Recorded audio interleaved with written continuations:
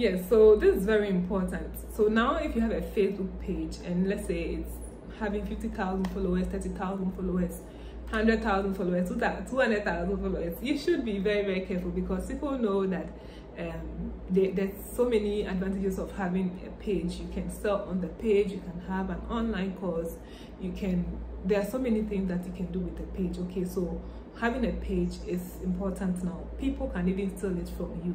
Okay now they come giving you offers like uh, we have seen that your page is doing well. We want to give you two thousand dollars to post on our page we will not take your we will not give you password. They are all lies they are all scam okay? They even if they see that you have posted uh, your email somewhere please the email that you are using for your facebook account never put it on social media.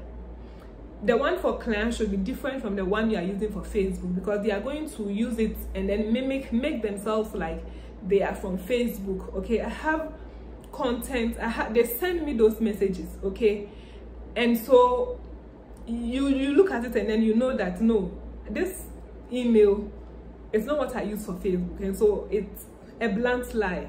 How did they get it? They are hackers okay? They are hackers. So be very careful. Don't be excited that you have gotten an opportunity.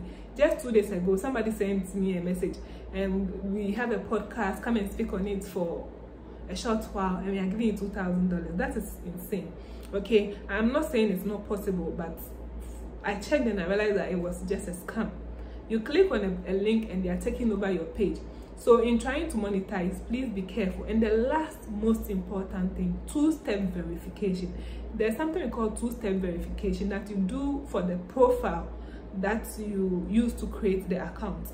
Please um, if you do not know how to do it get somebody to help you do two-step verification before you start building your page and be alert. Once you create a page and the pages be alert. Okay people work day and night. My only was there's no day like every day there's somebody who wants to hack into my account. Okay so you need to be alert. You need to be very careful. Okay and don't just be making people admins because some people not because they will steal your page but maybe they haven't protected their account. And so the more you expose them to those people into your like making them admin and all that your security goes down. Somebody can hack their account and then the hacker through their account can get into your account and cause a whole lot of havoc okay? And so that is how the two-step verification is the most important thing. Please do it. And if you can go and verify your page. I will do it but and the verification with the blue tick very soon. Okay. Thank you. My name is midwife sally